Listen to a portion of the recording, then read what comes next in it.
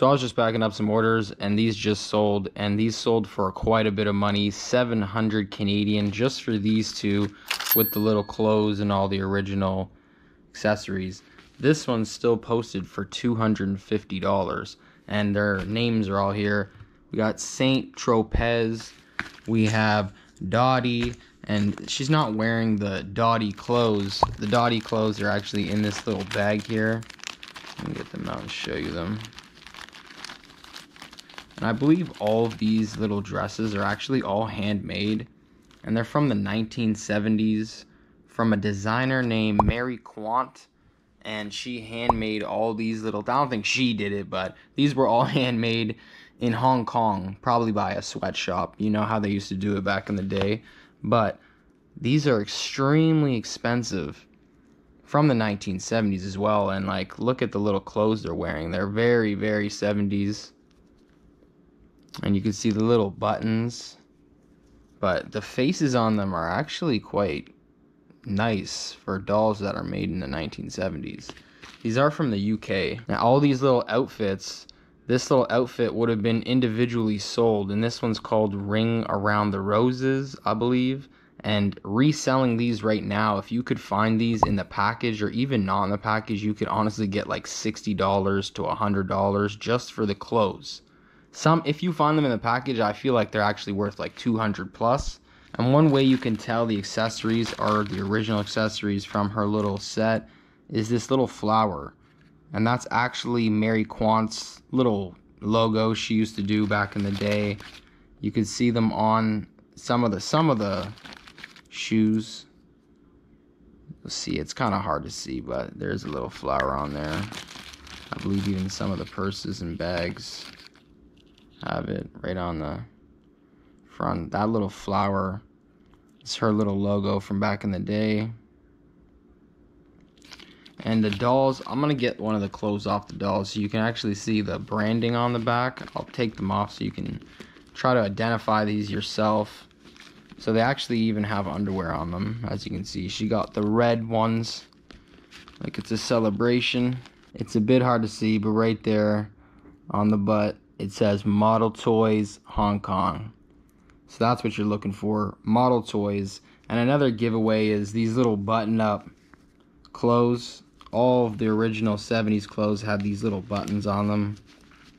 And the outfits themselves, like if you search up the outfits, if you just take a picture with your phone, go into Google and then search the image, you'll be able to usually find even like these outfits themselves just because of how important these are to people and how old they are, you'll be able to find them. But definitely don't pass these up if you can find them. Usually in thrifts, there's a whole bunch of Barbies and dolls that are just naked and not even looked at. And these are really, really expensive. $700 total just for these two with all the stuff. And I'm going to get another probably 250 for this one. So what a crazy sale. I actually accidentally found these in a Barbie box that was from the 60s. I found all the clothes and then I thought, hey, you know what? These clothes are really valuable. I should go back and check to see if the dolls are actually there, and they were. So here's a little picture of them in the thrift, in the bags. So we got Saint Tropez. We got Dottie with the original Dottie clothes. And we got Bee's Knees with the original Bee's Knees outfit. Alright, cool. I'll definitely buy this one.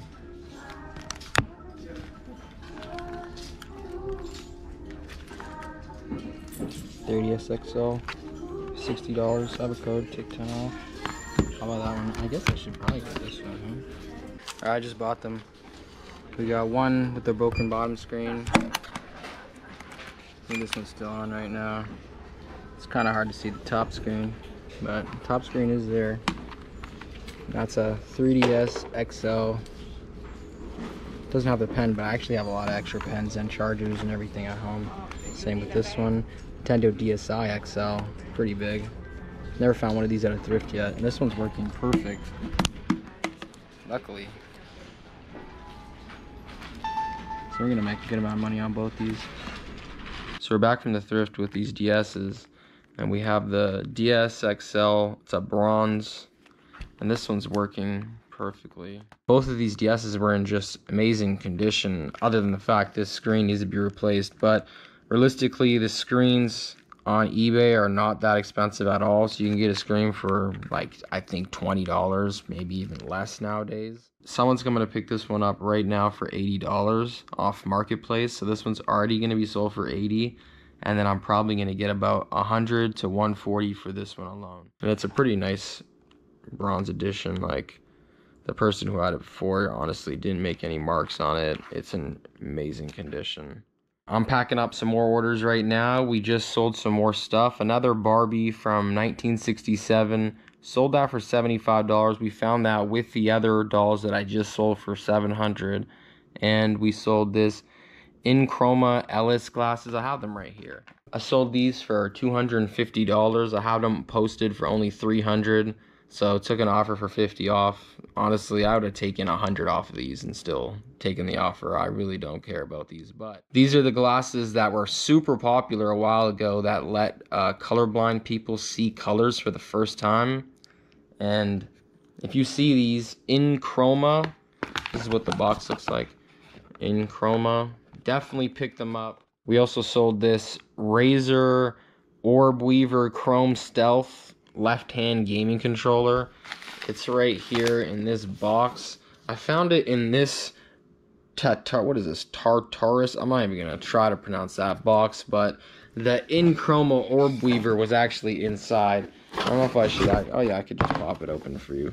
So it's a left-hand little gaming controller.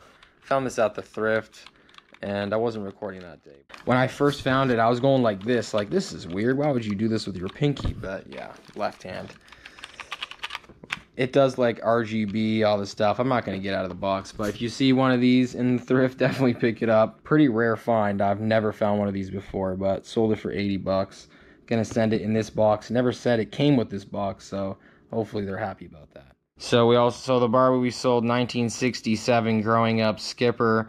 If you watch the movie, apparently she's in the Barbie movie. I don't know. I didn't really watch it. And so this thing, if you rotate the left arm, it will grow in height and in breast size for some reason. This is from 1967 too. So absolutely crazy. And we had the original whole set with it with the little red socks. I think it was just missing boots or something. But sold for $75. So if you see one of these in the thrift, definitely don't pass it up pretty rare, I would assume, since it's from 1967. But I see them on eBay posted naked for pretty quite high value. So I really don't sell Barbies, and I'm probably not going to make a habit of it. Just found a rare box that was really old and just took a shot on it, but it really did pay off.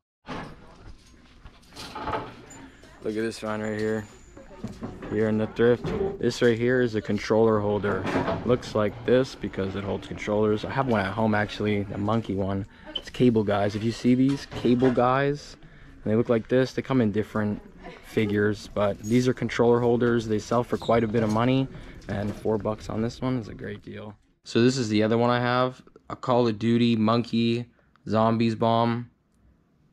And they're just controller stands. They're also phone stands. You can also put what whatever, I guess, in them, right?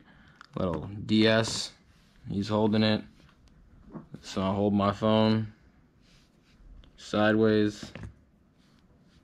I like to display the controllers in them though.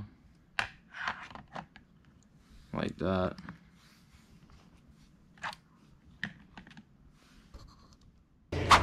Oh god, it's super spiky. Holy fuck, this is like the sharpest fruit I've ever felt in my life. It's a durian. It's like the stinkiest fruit in the world. In some places it's actually illegal to cut these open. Wow.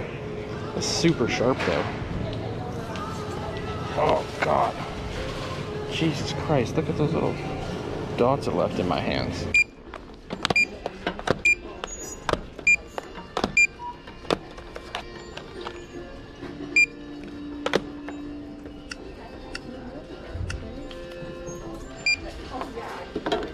Pretty good finds though.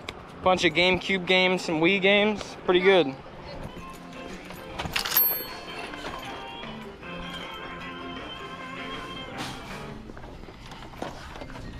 Only for five bucks. Something you got to check with these though is if they have the hard drive. And this one has a 250 gig hard drive. Usually people take these out.